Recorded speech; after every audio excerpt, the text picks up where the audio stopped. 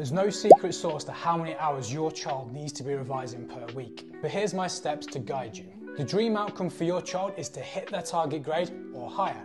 And this is a method that I use with this student and with this student to hit their goals. Step one, start by assigning a one hour time block just for maths. One topic, real depth. This could be a revision class like ours or self study. Step two, add one more day to see if you can cope with an additional 30 to 60 minutes. On this day, add a past paper or a mixture of topics, and the outcome of this session feeds into your next week's one hour time block. Step three, as long as learning quality remains high, you can keep adding in more time blocks into your timetable. The trick is to add, then tolerate, add, then tolerate.